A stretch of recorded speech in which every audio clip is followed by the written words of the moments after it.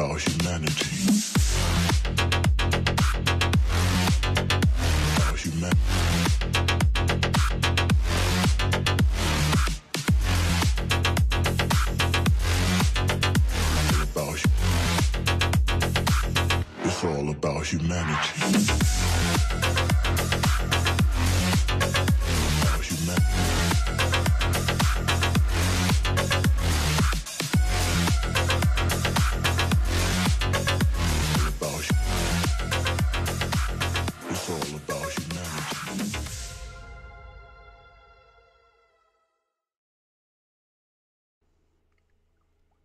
And we are live. Good evening, everyone. It is 6 p.m. here in the United Kingdom. Welcome to all my Bitcoin buddies from around the world. Uh, today is the 15th of July 2021. And as always, to start the show, Strong Bitcoin Hand. That is the name of the game of this show. Buy your coins, get them off an exchange, and then get on and enjoy your life, people, because life is really, really, really short. I'm really excited that I've got a live guest for you all today. So pound the like button. Let's get the preliminaries out the way before we get started. If you are finding my channel and you are new, please, please, please, please, please do not take anything I say as financial advice. I am just some crazy Brit that chooses to go live a couple of times a week and talk about Bitcoin.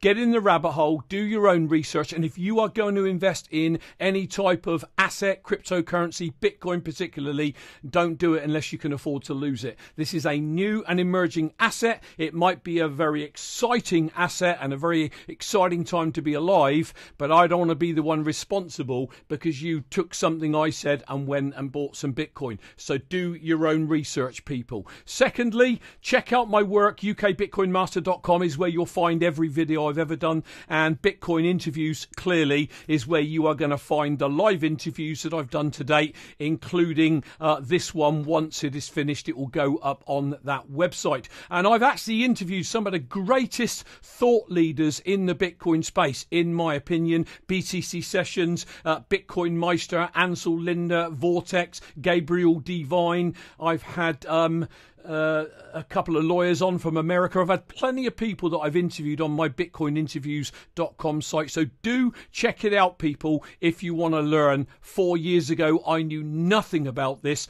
and all I'm doing twice a week is just talking to you guys about what I have learned. Finally, I don't do this show for any type of financial gain. It is simply me going live, and if I can touch one person and get them to catch the vision of where Bitcoin's going, how it's going to change the world, how it's going to change the world for generations to come, then that is all I want. But some people have reached out and said, How do I drop you a tip?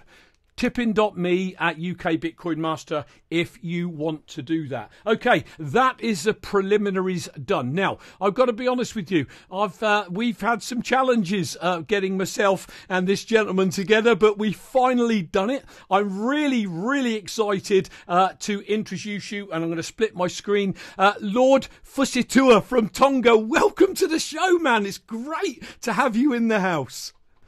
It's great to be on. Thank you, Brian. I appreciate it. Uh, Uh, and, and, and I've got to say, you're in a hospital bed, so is everything okay? Are, are we good? Yeah, I, you can see uh, in the background there. This is uh, in hospital. So uh, yeah, I had um, uh, surgery on uh, my leg and my hip, and uh, got that sorted. Been a couple of months in hospital. Uh, touch wood, fingers crossed, should be out by the end of this month. So yeah, it's it's not going too bad. And, and and am I right in saying you're in New Zealand, not Tonga? I am. No, no. I uh, I was here for medical treatment uh, a while ago uh, for nearly a year, Ooh, and then as I was recovering, um, COVID hit, and our borders uh, became hard locked. Uh, we're a small island, uh, so uh, COVID, uh, if it came in, would pretty much wipe out our population. So uh, the hard lock borders have kept us uh, with Palau, Nauru, um, North Korea, and Turkmenistan as the five countries that are still COVID free. So, yeah, still stuck in New Zealand because of COVID. Uh, but yeah, uh, they've treated me very well here, so uh, yeah, not going too badly. Well, that's fantastic to hear. Firstly, um, so people forgive the fact that Lord Fuchis. Oh, here we go. We had this off air. Fuchis. Fusitua. Fusitua. Yeah, I apologise. Fusitua. I've been practicing for a couple of weeks. Fusitua. Fusitua. And I've practiced that so much. And I thought to myself, I'll bet you as soon as I get him on the call, he'll go and say, no, you pronounce it differently. And you've done just that. So, uh, listen, thank, thank you for being on the call with me. Um, firstly, um, can I, may I ask, uh, maybe the audience are thinking, crikey, that guy's really tattooed up. I, I believe that's something to do with your, uh, your Tongan religion, faith, or wh- what is it? Uh, yeah, so firstly, I apologise for the informal attire. I have uh, cream on my back that makes it hard uh, to uh, wear a shirt or a hospital gown. Uh, hence, uh, all the hosts have been extremely um, uh, accommodating and accepted my informal attire uh, for the purposes of the interview. So, yeah, the tattoos are traditional Tongan tattoos.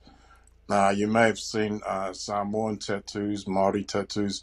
Uh, we're all Polynesian, and uh, tattoo comes from the Polynesian word tatau uh, for tattoo. That's where the, the English word comes from. Okay. Um, so, yeah, uh, the left half of my body uh, tells uh, the lineage uh, of my father's side and uh, the clan.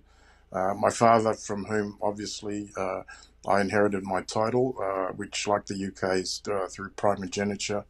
Um, so the tale of the lineage of the title, as well as the clan to which that title is a member of. Uh, the right side, uh, my mother is the granddaughter of another lord from another part of the country, and it tells the lineage of, of her uh, her family's title wow. and includes um, my my land, my estate, uh, my island, which I'm from, is the northernmost in Tonga, and is actually um, closer to Samoa and Fiji than it is to Tonga.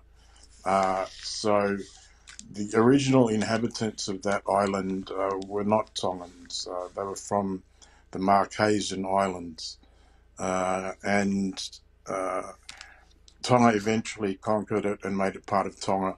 But when I was at the Australian National University in Canberra, it has opposite the law school is the Institute for Pacific Studies, which is the largest archive of Pacific uh, uh, documents and artifacts in the world. Okay. So I actually found a, a manuscript that had uh, drawings from the original settlers of the island my estate is on, Wow. and I was able to incorporate that into uh, my family, the, the current uh, occupants. Uh, I mean, the current occupants. Uh, my family uh, has been on this land for uh, about a millennia, so I'm the twentieth uh, person to hold this title. So it goes back uh, a fair way, uh, and yeah, that's what the tattoos are. So is that and- hen- hence Lord uh, Fusitua? Is that is that something that you have inherited down through generation? I mean, how, how does? I mean, I, I know that you've said on a couple of other podcasts that you, we've you've got a parliament sort of similar to the United Kingdom. Do you want to sort of explain That's that? right. Uh, yeah, so the title Lord uh, is uh, an honorific uh, which we adopted uh, when we uh, became Christianized uh, and uh, turned our ancient um, Polynesian Tongan monarchy uh, and hybridized it uh, into uh, a modern uh, Westminster constitutional monarchy Okay. uh, and therefore codified our traditions into uh, a constitution and laws. And one of those uh, institutions was our our, our Tongan uh, chieftainships. Uh, the various warriors who had chieftainships throughout the country uh, became 33 uh, houses under the constitution. There were 33 houses uh, of the nobility, uh, each carrying a title uh, and an estate. Uh, and they are passed down by primogeniture, uh, which means father to son, father to son. Uh, and therefore, uh, I currently hold the title because I inherited from my father, who was the previous Lord Fusitua. So I'm the 20th Lord Fusitua uh, uh, to hold this title. And by virtue of that, I also inherit, inherit an estate, which is uh, in our Land Act. Every uh, titles estate is, uh, the boundaries are delineated in the Land Act, uh, and our titles uh, accompanied by uh, the villages or islands uh, which constitute the estate. This is And uh, it's, it's similar, similar to uh, feudal Britain, uh, but ours was less a relationship between a lord and tenants, uh, which is a a, a, a sort of um, early uh, feudal uh, hybrid intercapitalism. Uh, there's a very capitalist uh, notion of private property there. In Polynesian tradition, the chief is the warrior who's the custodian of the land. He's, we don't consider it private property.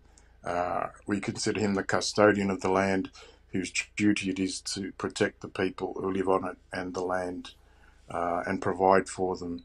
Uh, so that uh, notion of uh, responsibility and duty remains to this day, um, which is why in my political role it's a very easy transition across from traditional leadership to political leadership uh, and uh, ensuring that the people on my land have access to education, access to healthcare, access to justice, things that are considered, or we consider, basic human rights. Yeah. It's my job to ensure that they are provided for that. Uh, uh, people's representatives who are elected by uh, universal suffrage, uh, they come for terms of four years. Um, my duty to protect them begins at birth and ends at death. wow. Uh, so yeah, it's a it's a lifelong duty. Um, so by virtue of that, uh, we have a, a legislative assembly which is uh, an amalgam of the House of Lords and House of Commons. We have them all within one uh, unicameral house. So we have 26 uh, seats, uh, 17 of which are for people uh, elected by universal suffrage, and nine of which uh, for the Lords uh, to elect uh, amongst themselves. Uh, therefore, uh, in House of 26, 14 is a majority. It's it's weighted that way so that the 17's people's reps can always form a government without us if they wish to do so, or if they wish, uh, can have a government of national unity and have some lords in there to provide traditional contributions to uh, the dialogue in cabinet. So let me ask you a question, if I may, and I'm just playing devil's advocate here. Um, I, I'm, Yeah. I, I'm I'm a regular Brit who's worked hard all of his life. I spent 20 years driving a truck for a living, um, so I'm not I'm not well educated, left school early, blah blah blah blah blah. So you know when I when I um, go through my life and I, I I hear of or see um, you know things on the news about the House of Commons and the House of Lords, all I see as a Brit is a load of corrupt individuals that are lining their own pockets and just doing good for themselves. And I'm sure many of them came into politics to try and do better, but got pushed along by the stuff that, you know, the backhanders and everything else. What makes Tongan, is there, is there something that, that, that makes Tongan government maybe different to that? A smaller nation? Uh, do you know what I'm trying to say? Yeah, so the population of our country is 100,000. Wow. So our country could fit into 100,651. So we could probably fit into Wembley or, or O2. Yeah. Um, yeah, so, uh, and five percent of that are now ethnic Chinese immigrants Okay. uh, who've naturalised as Tongan citizens. So, uh, for the people's reps, uh, of course, uh, the the temptation for corruption is there. Yeah. Uh, particularly, we used to have national reps. So, uh, for say for the main island group, Tapu, there were three uh, MPs, Hmm. and the whole of Tapu uh, would vote, and the pers- the people who got the top three votes uh, would become the MPs. But we've now split them up into constituencies. So Tapu was split up into 10 constituencies, and the rest of the country split up into seven constituencies. That means each politician is really going to try and just work for his constituency when he gets into parliament because those are the only people that vote for him. So he's not too fussed about national affairs. So that's one of the drawbacks of breaking it up into constituencies. Constituencies are supposed to be more democratic because it gets right down to grassroots where you're representing the actual people that you live with. Uh, but as I said, the concern is that you'll only take their interests to the House. So you'll only make sure their roads are paved. You'll only make sure their schools are given funding, uh, as opposed to other roads or schools, because these are the people that'll vote for you. Yep. Uh, Yep. And it takes your focus away from national concerns. Um, and with a country the size of ours, uh, national concerns are paramount. Uh, in a country of uh, 40 to odd 50 million like the UK, um, national con- uh, local concerns can mean hundreds of thousands of or millions of people. Yeah. Uh, Definitely. here, yeah, the maximum, uh, the largest electorate uh, has 5,000 voters. Uh, so the, the registered voters are 53,000. So if he just works with those 5,000 people, then everyone else misses out. Right. So, uh, yeah, there, there is a concern and they have to be monitored. Uh, and we have uh, what are called constituency visits. As soon as Parliament opens, uh, as with most uh, parliaments, we have to do budget.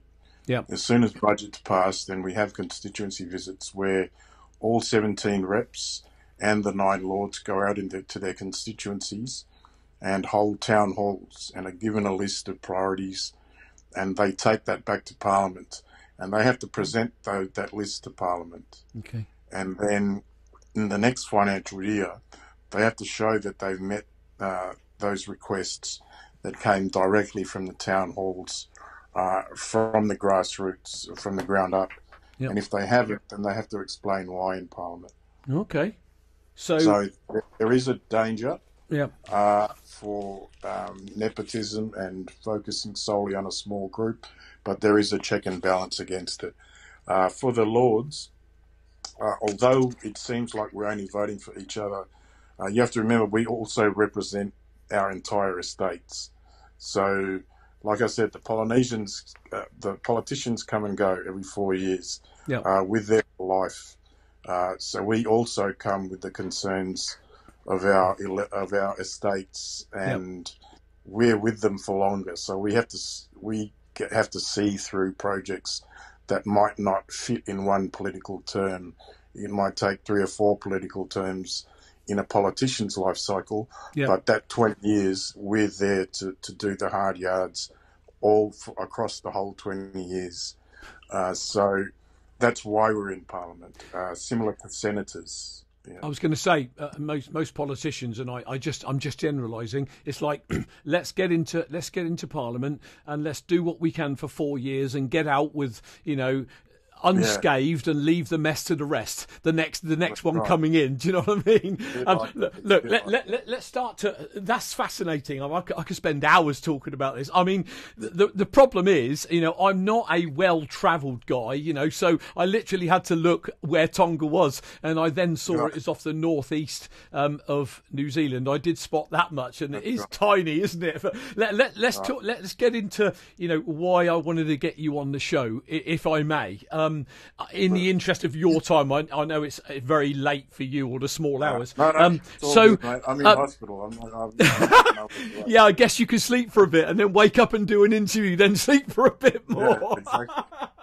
so, That's basically what I've been doing. ah, awesome. Can't, but, you- but surely you're missing your family terribly. Are you FaceTiming or something of that nature, video calling? Uh, yeah, yeah, absolutely. I've got two of my three kids live here in New Zealand. ah, gotcha. So they're here, uh, and my mother's here, and uh, some of the relatives. I've got lots of, like most uh, Polynesians, uh, there are lots of relatives here in New Zealand, Australia, and the US. So gotcha. yeah, I'm I'm I'm in good stead. Gotcha. Um, so, what I want to do, I want to talk about Tonga, Bitcoin, remittances, El Salvador. How did you hear about all this? Let's go back.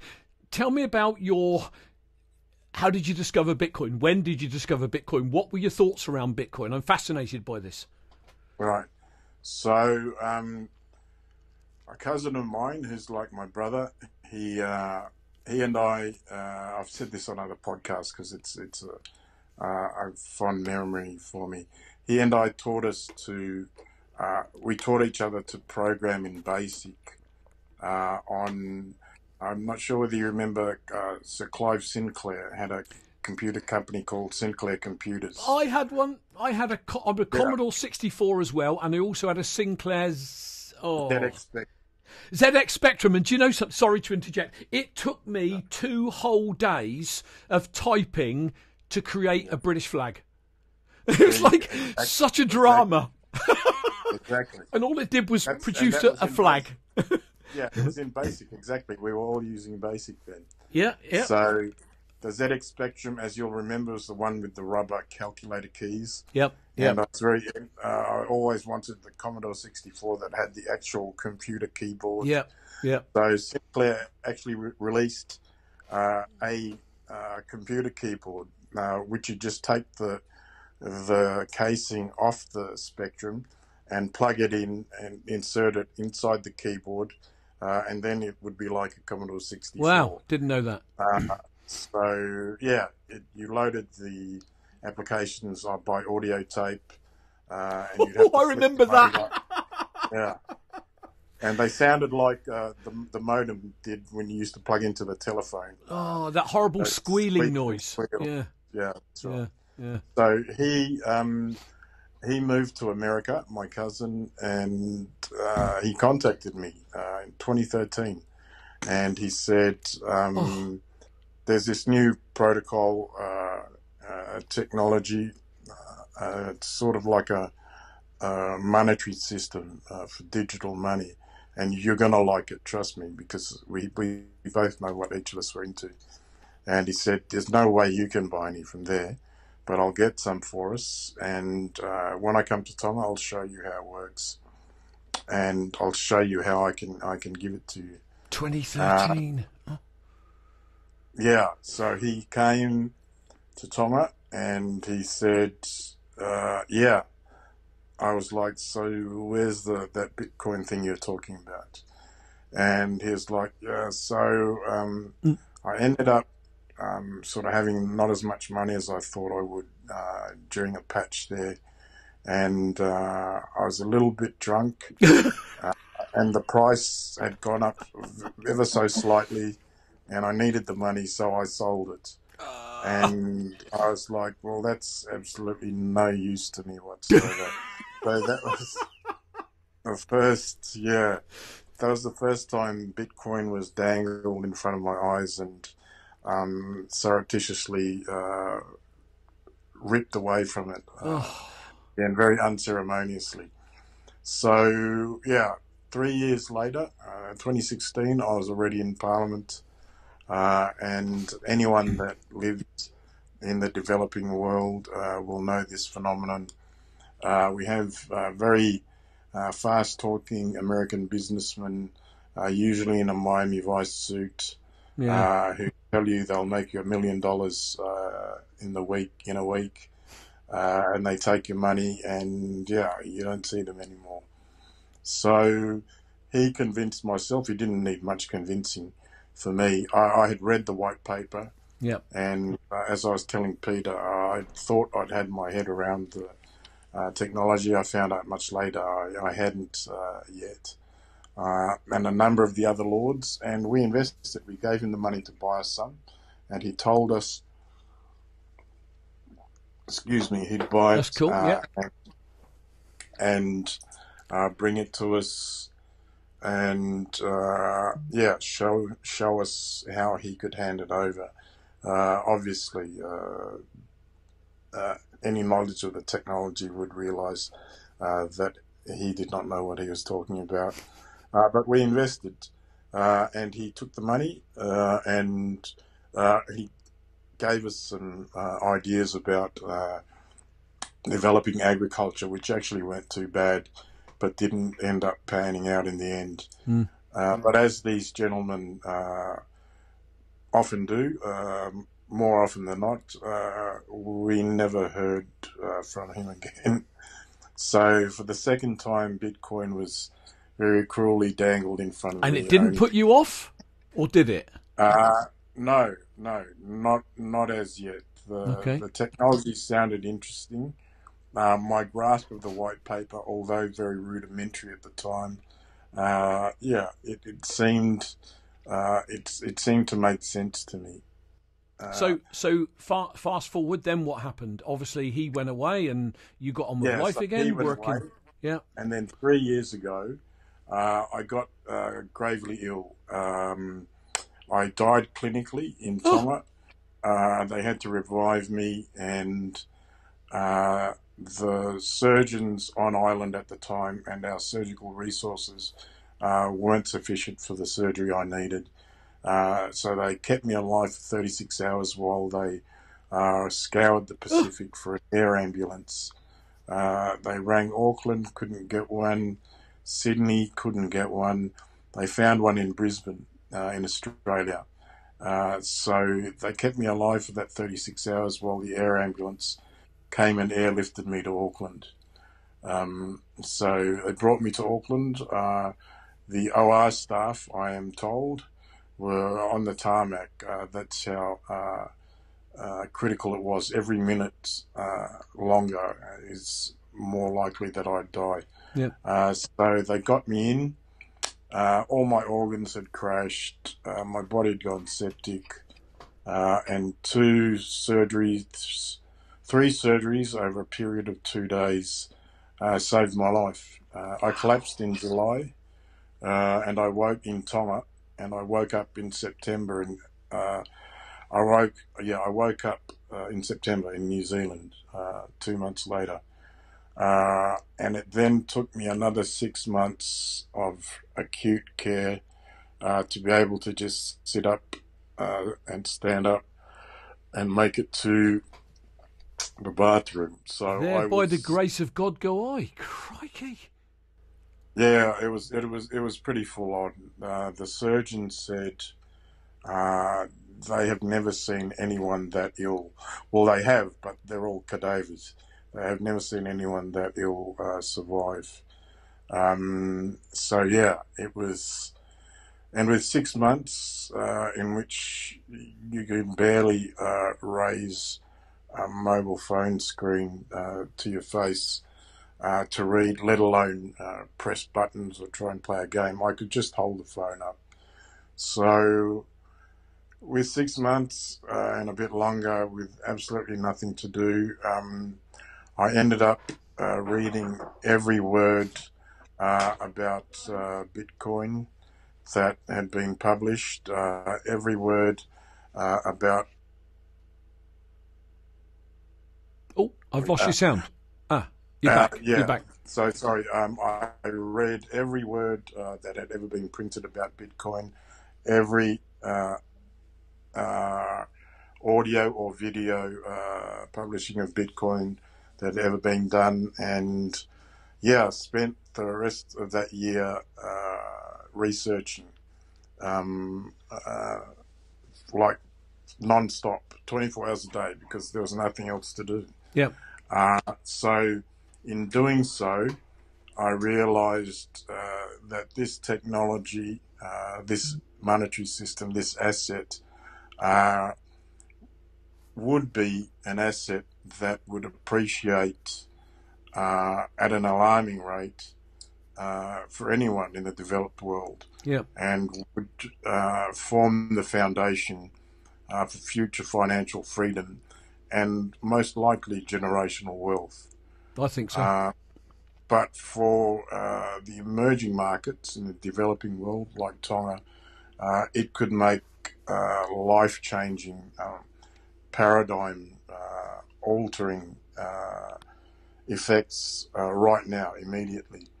Uh, and that's because of the large reliance of emerging markets on uh, remittances. So stop there for a moment. Let me just let me just uh, hold the thought for a moment. So, were you aware of all of this before this big? Well, you obviously were, but you know, I mean, did El Salvador kicking it off?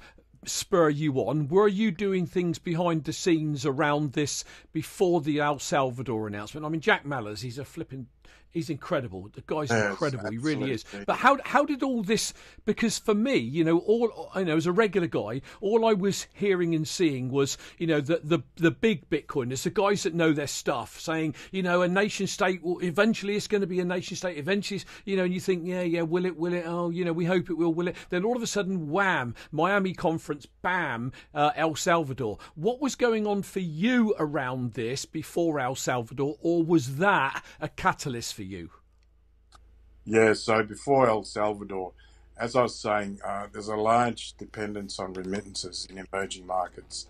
Uh, it's a $700 billion uh, ye- uh, industry annually. yeah Um, and in Tonga, uh, our, our, G, uh, our GDP is made up uh, 41% of remittances. So nearly half our GDP is made up of remittances sent from abroad. Uh, so what you have to know about remittances is uh, when you send them by Western Union, uh, in Tonga, uh, we did the numbers, and on average, they take a 30% cut in fees. Uh, as Jack Mallers said in his interview uh, with Peter McCormack, in El Salvador it's, is above 50% Mm. in fee. So uh, I realized uh, that Bitcoin would be a lot cheaper. So even before El Salvador, we've been sending uh, warm wallet remittances back uh, on layer one, on the base layer for quite a while now. Yep. Because even with the higher fees on layer one, it's still save a fortune yeah Yeah, by a factor of 4x to 10x, it's cheaper than Western Union. Uh, yeah, by a lot.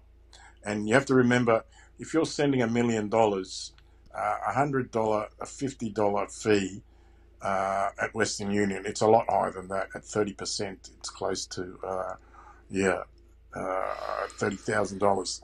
But um, uh, three hundred thousand dollars, right? Uh, but uh, in Western Union, the average uh, payment in El Salvador, uh, in Tonga, is a relative who's working as a housekeeper abroad or in an unskilled job, sending fifty or hundred dollars back a week or a month. So if you take twenty-five or fifty dollars out of that, that's half the remittance gone. Uh, so uh, It's almost yeah, like overnight. Overnight, you literally change that, don't you? That Exactly. dynamic changes instantaneously. instantly, instantly. Uh, so with layer one, uh, it's yeah, it's life changing. But when For uh, for noob, sorry, for, for noobs, for noobs. If you're watching the channel, layer one is the Bitcoin layer, and then of course we've got the Lightning on top. Carry on. Sorry. So on the base layer uh, to warm wallets, uh, it's it's life changing. Um, we have, as I said, with five percent of our our um, population is ethnically Chinese. Yep. Uh, when Hong Kong went back to China, a lot of Chinese merchants fled uh, to take their businesses elsewhere, and a lot came to Tonga.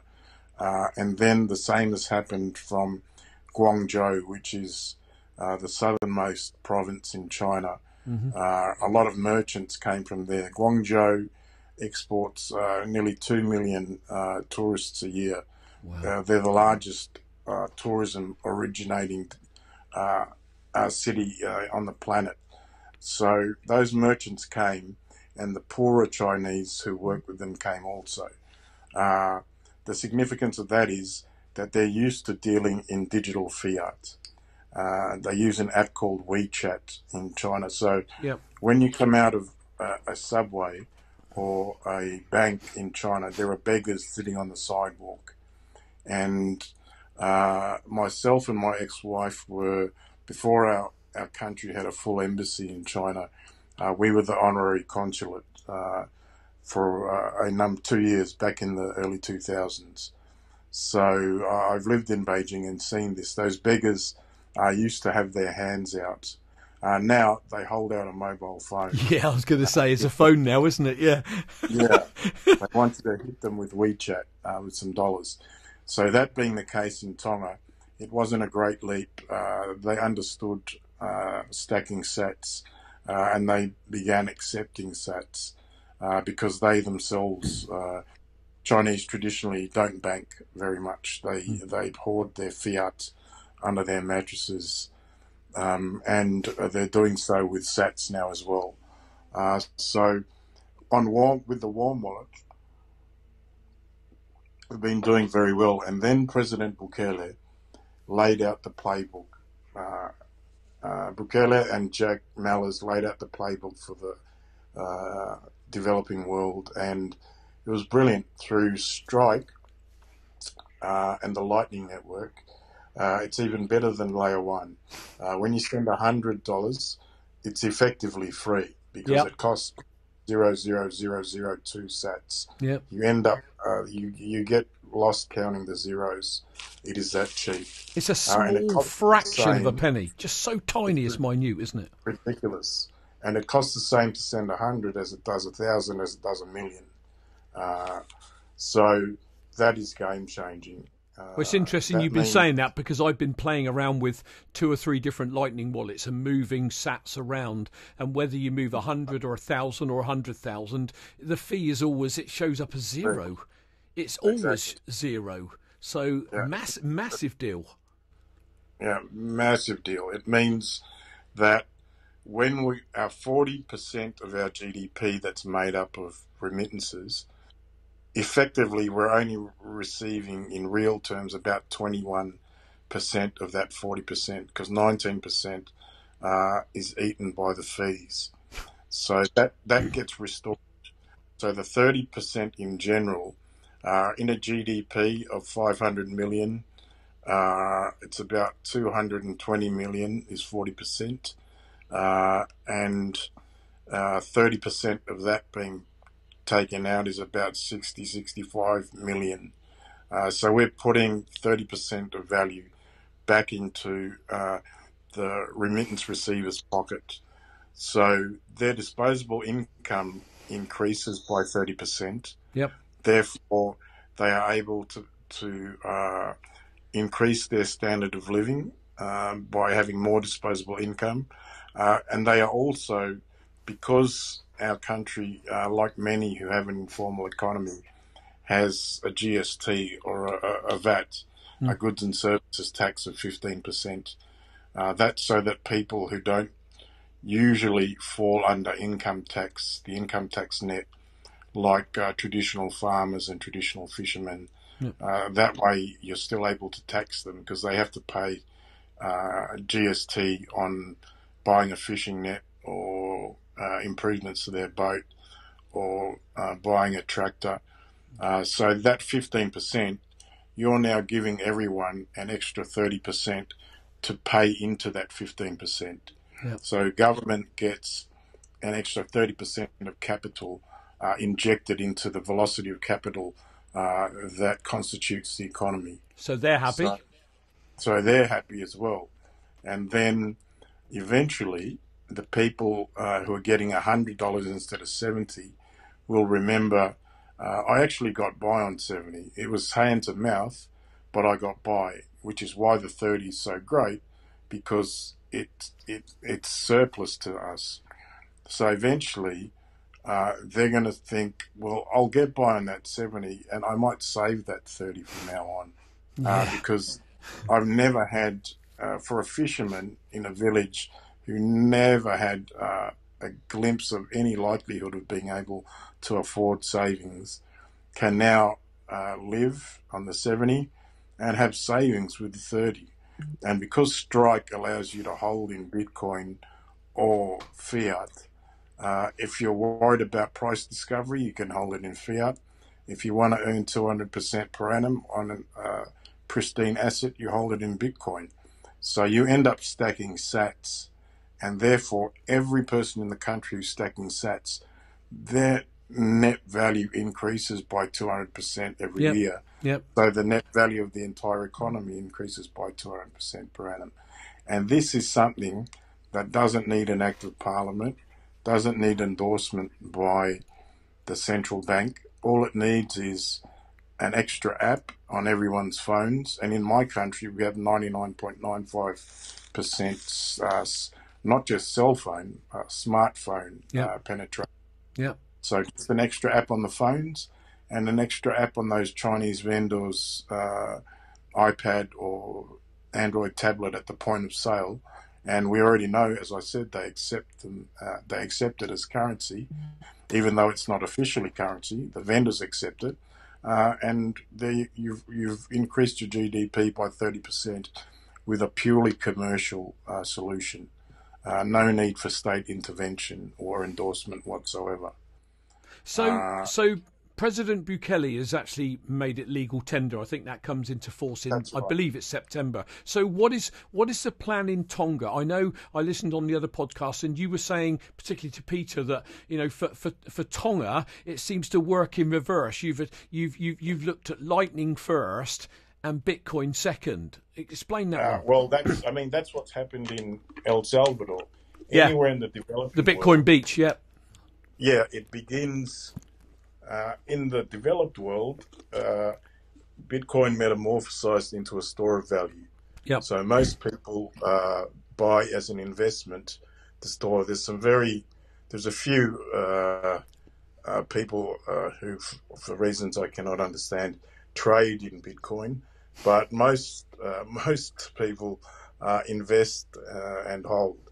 Uh, so as a store of value, and then uh, it'll eventually we're beginning to see it move towards um, a medium of exchange yeah, uh, as more uh, vendors accept it in the West and work towards uh, a unit of account eventually.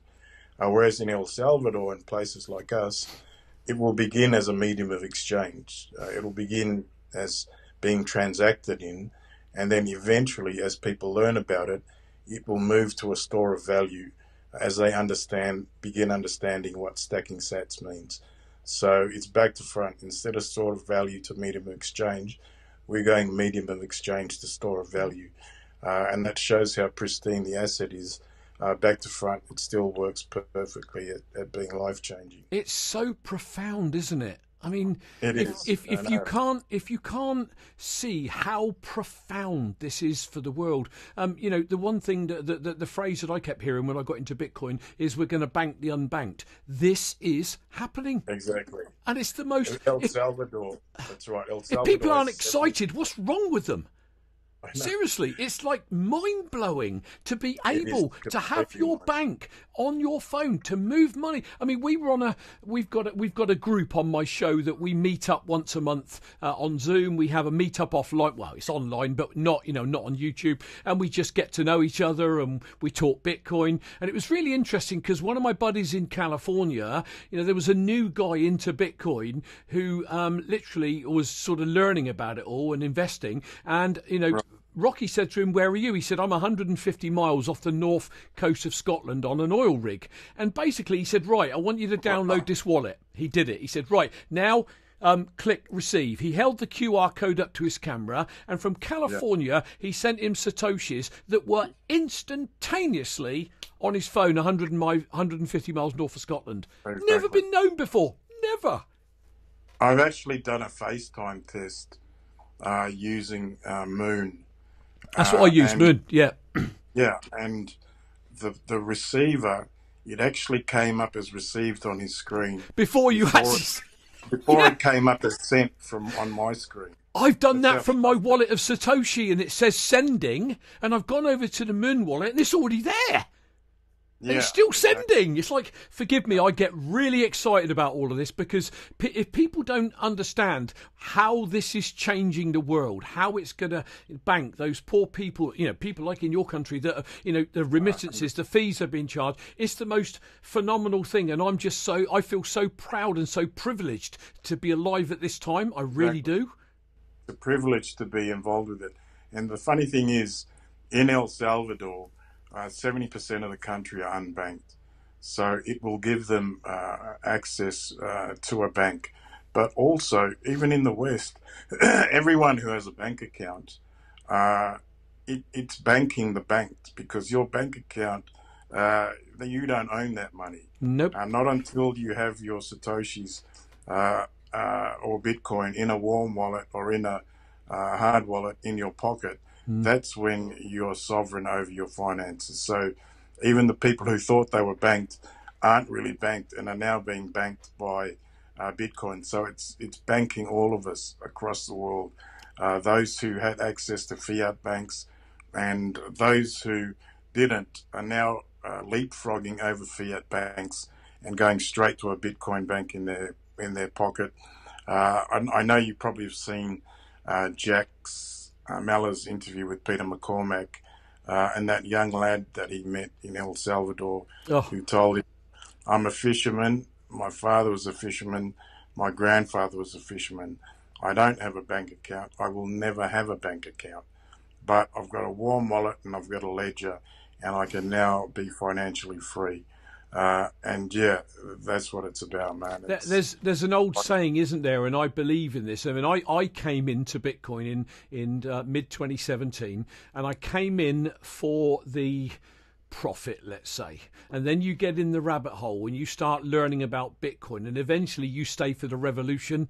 And I am in Bitcoin um, because a I want you know the rest of my life for my lovely wife to see the world a little bit, maybe get down to Tonga and see what it's like down there, and meet you guys. I mean, I've got such a dream, Lord F- F- Oh, dear Fusitu'a. all Fusitu'a. Uh, I've got a dream to meet all these people that I keep interviewing and getting to know um, online in person, shake their hand, give them a hug, have a drink with them. and this is such a big deal. So there is an element of profit for us. You know, I'm 62, but the bulk of it is for my my uh, children, grandchildren, great grandchildren, the same for them. And I want, and, and I'm being a bit selfish here, I want to leave a legacy where for generations to come in my family, they talk about me because I had the guts, I had the balls, if I can use that, to stand firm when everybody was laughing at me, everybody was ridiculing me, and I literally teach this on my show. You are not banked unless you buy it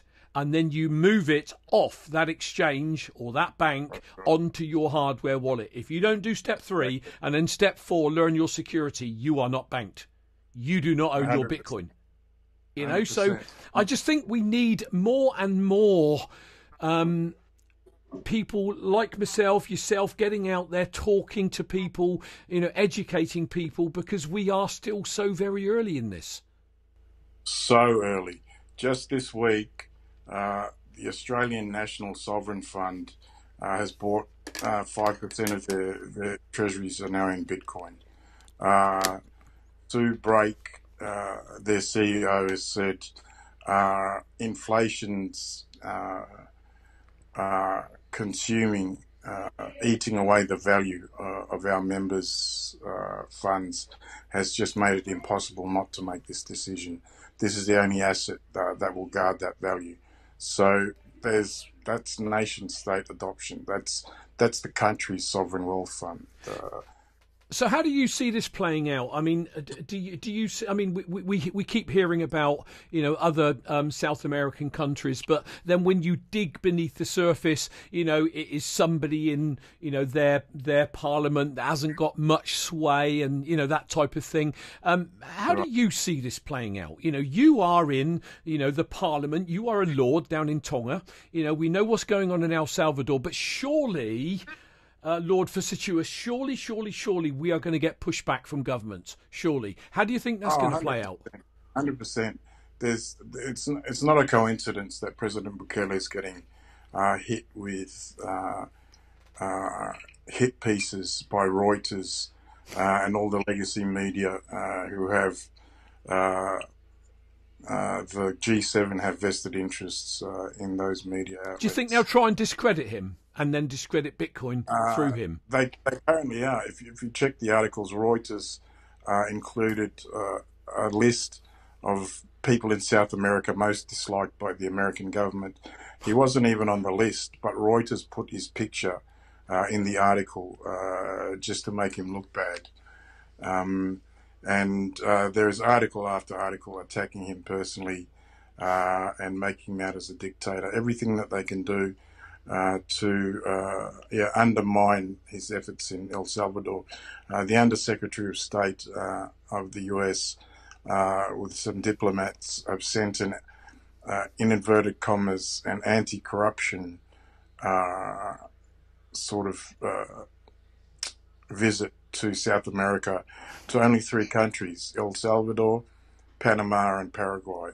And those three countries have absolutely nothing in common apart from the fact that they uh, have already or are in the process of adopting Bitcoin. Uh, so there's absolutely going to be pushback, particularly from the G7 nations who have uh, very uh, entrenched uh, fiat central banking systems that go back uh, centuries. Uh, and the Cantillon effect is, is very strong Oh, there. yeah. these central bankers are not elected officials uh, and are very often uh, families that have been doing this for generations, uh, being central bankers uh, in this system, as well as the people uh, behind it, um, prominent families whose names are synonymous with wealth, who have a great influence on them and a vested interest in the fiat system to ensure that. Uh, the two thirds of the planet, or four billion of us in emerging markets, remain either a plantation for them, a mine, or uh, a supply of uh, of uh, unskilled labor. Uh, and Bitcoin not only gives access to generational wealth uh, to the people uh, who are the colleagues of these central bankers. It gives people who are in those plantations and those mines and uh, the unskilled labor, they have equal access to generational wealth through Bitcoin Yeah. uh, because Bitcoin uh, is classless, uh, permissionless, uh, and does not recognize uh, creed, race, color, religion, uh, or socioeconomic class. I was going to say, n- never in my wildest, I won't say dreams, that's the wrong thing to say, but never in my wildest dreams, if I use that term, would I have mixed and had a conversation with a lord in parliament. I, I simply don't move. You know, in those circles, my family are working class, and yet here we are having this honest you know, discussion around Bitcoin, etc. And I find it fascinating. I find it liberating. I find it exciting. Like you said, no class. I'm working class. You're a lord in uh, Parliament. It's just the most I- incredible thing. You, if I saw you in a pub, I would probably approach you for a drink because we have the same haircut and the same beard. Uh, but yeah, Well, maybe we'll end out having a drink together at some point. People, I- I've got to say, forgive me, forgive me. I haven't got my chat open on this live show because there's too much going on here, and I wanted to focus on Lord Fusitu'a because he's in hospital. So, people, if you're in the chat and you're speaking, I can't see it. Forgive me for that. But pound the like button, share this out. Really, really, really important. Um, Lord Fusitu'a, we are heading towards the hour mark. I'm very mindful of your time. I know it's the middle of the night down there in New Zealand No for you. worries. No worries at all. Um, Don't- but don't- it- don't it's hold for me. well, I- I- it's been an absolute blast. Is, is. is there anything you want to add to the discussion we've had so far for my listeners? Uh, I think, yeah, our, our just to lay out our general plan or my general I was going to ask you that. Thank you. Yes, what's going to happen down in Tonga? Yeah, so the commercial solution is doable ASAP. Uh, as I said, it only involves uh, addition of an extra app to our phones. Yep. Uh, and um, there's a company you, you may or may not be familiar with uh, called Digicel. It's an Irish company, Heard of it? Uh, but- yep. but they operate mainly in sub-Saharan Africa uh, the Caribbean, uh, South and Central America, and the Pacific. Uh, they make their money off the developing world, uh, and they do so by credit top-ups, but Yep. more uh, more so by being uh, a conduit for digital fiat uh, remittances. Yep. So Yep. you can log on to a website, uh, enter your credit card and or banking details, and uh, the remittance will go straight to the Digicel phone uh, of the recipient. So they've ensured nearly 100% uh, cell phone penetration uh, Wow. in Tonga, Wow. so that they take advantage of that uh, remittance market. Yep. So that means, ironically, uh, and they also have rolled out the point of sale hardware at all the Chinese vendors uh, to accept these digital fiat payments. You can take your digital your Digicel phone and cash out fiat uh, at the corner store, uh, or pay with it uh, uh, for some goods and cash out the balance. Uh, uh, so, ironically, Digicel has laid out the infrastructure needed for Strike. Uh, so all we do is put Strike. Yeah, we put Strike on all those Digicel phones, and we put Strike on all those Digicel points of sale. You, Uh, you've you've got you've got a payment structure around buying and selling goods and services before That's us in the West. You're ahead of the curve. Right. That's right. Because it's such a small economy and it's easier to scale things, we can adopt new technology much quicker uh, without uh, too much bureaucratic tape uh, in between. Uh, so, and as I said, this solution, this solution is is uh, entirely a, a commercial private sector solution. There's no need uh, for an act of parliament or even endorsement from the central bank because you're not using a financial services operator. Uh, you're not issuing a currency. It just happens to be that the vendors accept that uh, uh, that tender, uh, just like uh, they'd accept uh, USD uh, if you happen to have it. Uh, they do accept it uh, usually, but it's dollar for dollar. Yeah. Uh, they won't. Uh, they're not a currency exchange, so they won't give you an exchange rate. They'll just take it face value as a Tongan dollar. Yeah. Uh, so it's actually worth nearly three Tongan dollars. Uh, so uh, them accepting Bitcoin is just like that. They're not uh, working as an exchange or, yeah. So uh, that's the commercial solution. The next step uh, would be uh, uh, adopting Bitcoin as legal tender, uh, which President Bukele has already uh, laid out the playbook for. Uh, I was fortunate enough to be given a, an early uh, copy of the bill uh, by the team in El Salvador. Awesome. Um, So you're going to follow that? yeah, so in order to uh, submit a new bill, you have to do what's called a gap analysis. Yep. Uh, so you have to make sure that it aligns with the Constitution and doesn't contradict it in any way, Yep. and the relevant legislation. Uh, so our banking and finance legislation, make sure it fits with that. Uh, and you usually send that to the Attorney General's office, uh, and they get it done in a, in a couple of months. Um, I've been in hospital, so I had nothing to do, so I did the first half a couple of weeks ago and finished the last half last week. Wow. Uh, so I've got a bill ready to go in Parliament. Wow. Uh, but you just can't get home to work on it.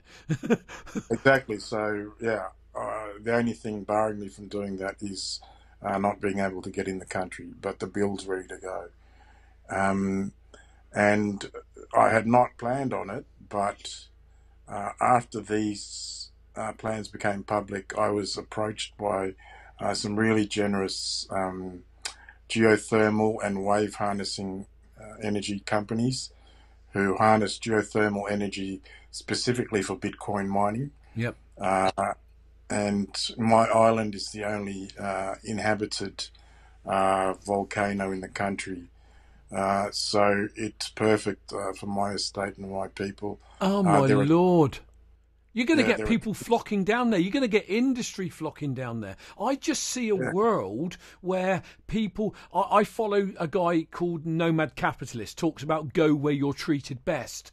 And I feel that the smaller countries, the smaller nations, will start to attract people and industry. Industries will be formed around mining. I, I, it's incredible. I just find it so mind blowing. mining. This, see, this is the brilliance of the Bitcoin community and the technologies it has uh, at its fingertips. So there are 20 other volcanoes in our country.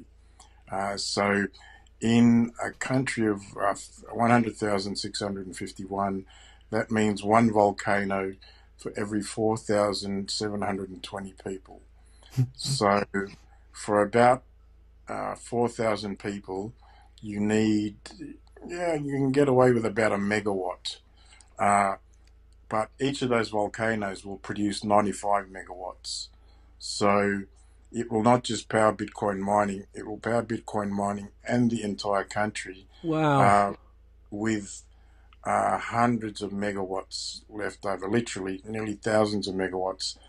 And uh, if you know anything about electrical engineering, you'll know No. electricity, electricity only travels 500 kilometers at a time. After that, uh, there are no cables uh, that we have the technology for that can still hold voltage. It loses voltage after 500 kilometers.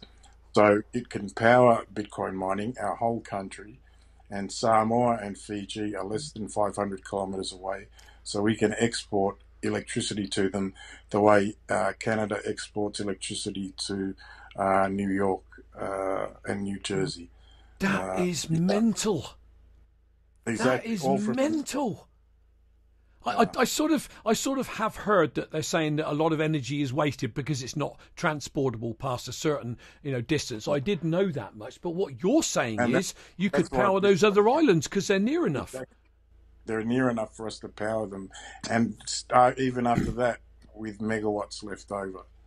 Uh, that's how, uh, yeah, how energy rich this technology is, and that's why, as you see, uh, power can only go so far. That's why Bitcoin mining uh, searches out those that power Yep. in the middle of the jungle that no one can get to, Yep. uh, and they use that power, and it's clean. It's got a zero carbon footprint. Uh, and it costs zero cents per kilowatt hour, so it's a win-win-win-win. People don't understand that Bitcoin is going to drive a cleaner world. They just don't get it. A hundred percent. They just don't get it. You know, listen to the narrative. It's boiling the oceans. Uh, less than one percent, you know, energy uses a year in in terms of the whole 160 terawatt or whatever it is. I can't. You know, it's just crazy. Mining, Bitcoin mining uses the same amount of energy as Christmas lights do annually, and for those of us who are in the Pacific, who are at the the uh, at the uh, at the um, the forefront of the impacts of uh, climate change, uh, we've assessed the data, uh, and I do climate change work uh, through with the Commonwealth Secretariat out of uh, Marlborough House in London. Okay. Uh, I'm, I'm the chairman of the Commonwealth uh, uh, Pacific Parliamentary Human Rights Group. Anything else you do? Uh, yeah, well, So I keep the list open. Corey, carry on. one of the one of the jobs I do is as chairman of uh, GOPAC Oceania, uh, and I'm on the world board for GOPAC. Uh, it's a global organisation of parliamentarians against corruption, who which is the legislative arm, and the enforcement arm is the UNODC, uh, the United Nations Office on Drugs and Crime. So when you get KYC AML'd, it's so that that information gets sent to us so that we can monitor the illicit financial flows, uh, usually uh, in the Northern Hemisphere uh, through uh, NATO uh, to watch flows to the Middle East uh, and particularly to ISIS, and to, on the other end, to watch flows from the Sinaloa cartel, the Cali cartel, and Medellin uh, for the bricks of Bolivian marching powder uh, that are going the other way Wow. and the bricks of China white that are coming down from China going the other way. Uh, and in that uh, anti corruption role, uh, it shows us that the regulation of uh, Bitcoin is, uh, yeah, it's very strange if you think about it. It's the only uh, entity that's treated as two different things under the law. Uh, that's actually, uh, uh, yeah, that's contra legal. That's illegal. So, for the purposes of financial uh, uh, monitoring, Yeah. uh, it's treated as a money. So that's why you get KYC AML because only money uh, uh, causes KYC AML. Yeah. But uh, when it comes to taxation, they tax you as an asset. Mm. Uh, so you pay capital gains tax on it. So Tell it's treated as a money and as an asset at the same time, Yeah. which is, yeah, that's not strictly legal. Uh, and the reason they treat it as an asset so that they can tax you. Because if it was treated solely as a money, then it's declassified as an asset and you don't pay tax on holding it. Uh, you just pay tax in uh, when you do it in exchange, a forex uh, transaction. Yep. So uh, my work in anti-corruption uh, has made me able to highlight that uh, to the relevant authorities. That uh, yeah, that's why President Biden has uh, pumped 80 billion into the IRS and advertised for 37 thousand new jobs, so that the US can try and um, formulate a taxation model and a legislative model around it. So, yeah, uh, Bitcoin is is uh, making inroads in every sector uh, and every uh, uh, legal space uh, around the planet. Um, as I said, five percent just bought this week by um, the Australian Sovereign Fund, and on on the Strip in Las Vegas, all the gentlemen's clubs, in inverted commas, now accept Bitcoin as payment. Wow. Uh, really? So, so yes, the dancers will have um, either a QR code on a little sticker or tattooed, uh, and you can tip uh, using Lightning. It's coming, Lord Fusitu'a. It's coming. It's coming slowly, slowly, then suddenly. And I think to be in this space and be aware of that, you know, awareness is a key word, isn't it? You don't even need to be, you know, fully, you know, in Bitcoin. You just need to have awareness that something's going on, and you will be sucked, in my view, down into that Bitcoin rabbit hole. And I just tell everyone, including my family, for goodness sake, at the very least, get off ground zero. Just get, Get off, off zero. zero. You know, get get a bit of skin in the game because you know I, I see I see a world where I, I think Michael Saylor says 400 trillion the money, you know, something like that. You know, that's going to be sucked into Bitcoin over generations. It might not, I might not see it in my lifetime, but my children and grandchildren will. You know, and it's like I don't want them to say, you know, why didn't you tell me? So therefore, we as Bitcoiners, we've got to almost get under people's skins and you know try and get them to wake up and, and see what's going on and not just let it pass them by. When this is, I think it was who was it said it might have been Max Keiser. This is a one in ten thousand year occurrence. This just Exactly. happens once every ten thousand years, and we're living through it's it. almost the moral. It's almost the moral duty uh, to share it. There are only 21 million of them, uh, and there are 45 million millionaires on the planet, uh, and they're all going to begin pushing their value. Uh, there's 8 billion of us and 21 million to go around. So do the math. Uh, get off zero now. That is what I say to people. All you have to do, you don't even need to be good with maths. Just get a calculator and try and do the numbers. Divide, you know, 8 billion people buy 21 million coins. Well, maybe 19 million because a couple of million are definitely lost. right. Um, and all of a sudden, you know, it can't be inflated. There can't be any more printed. It is getting scarcer and scarcer every four years. And you've got a, a logical answer that does not take the brains of a rocket scientist to get. It really doesn't. And uh, without uh, talking price action, which I never do, No, me neither. um, the entry points you've got now will never likely come around again. So uh, the sooner you get off zero, uh, the better for yourself. This is not financial advice, but yeah, um, do your descendants a favour. Well, Lord Fusitu'a, I'm telling you, sir, it has. We've had a bit of a nightmare getting here, and I want to publicly on my show apologise to you. And I tell you the reason we got the No, timings well, wrong on the first two it's because I thought you were in Tonga. I was looking at Tonga time, forgetting Ah. you were down in New Zealand. But I've got to say, audience, if you haven't enjoyed this content from this guy, then I don't know what planet you're on. You need to tweet this out, people. You need to share it with your family. Say, have a look at this video um, because this is this guy is everywhere. Um, I'm not on Twitter Spaces. You are, Lord Fusitu'a. You are everywhere. I keep hearing this. Every, I mean, I, the the trouble is, I've got a Clubhouse app, but I've got a life. I've got another business, and I just don't have the the time. You know, if I want to enjoy my family and not ignore my family, to go into everything. But I understand where you're at. You're led in a hospital bed. So what else have you got to do? When I was led in a hospital bed in 2011, I had flipping nothing to do but read books, and it was so boring. Or pay money for I the know, hospital was- TV. someone someone reminded me uh, this week. They said, "Imagine being stuck there in 2003 with a Nokia phone and Oh. Snake. That's all you'd have to play." And I was like, "Oh, Oh no, no, no, no, no, no! Look, it's been an absolute delight. I thank you for coming on the show, and I really mean it when I say I really hope we get to meet and shake each other's hands in person in the new And have- world. In the new world, uh, I'm going to leave you all. Sorry, go on.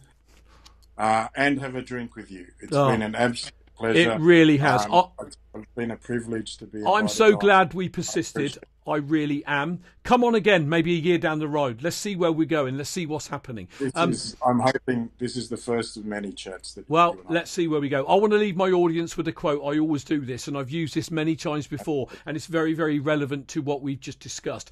Gandhi said, First they ignore you, then they laugh at you, then they fight you, then you win. I believe we're at the then they fight you stage, but we will win, people. Buy your Bitcoin, stack those Satoshis. Stay strong, people. Uh, thanks for being on, Lords Fusitu'a. It's been an absolute blast. I'm going to leave you all with my social media links. I'm going to say thank you to you. Stick around and I'll cut it off at the end and we'll debrief. But people, I'll be back on, where are we? What's today? Oh, I've lost track of time. Today's Thursday. I'll be back on Monday, 6 p.m. London with my regular show. Uh, for now, Lord Fusitu'a from Tonga, thank you for joining us. Thank you, sir. It's been a pleasure.